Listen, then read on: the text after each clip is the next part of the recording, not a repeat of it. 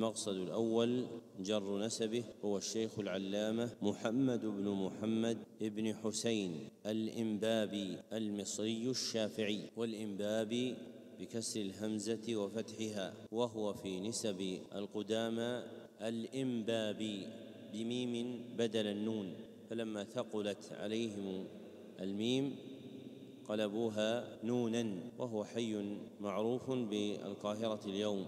المقصد الثاني تاريخ مولده ولد سنة أربعين بعد المئتين والألف. المقصد الثالث تاريخ وفاته. توفي رحمه الله ليلة السبت الحادي والعشرين من شهر شوال سنة ثلاث عشرة بعد الثلاثمائة والألف.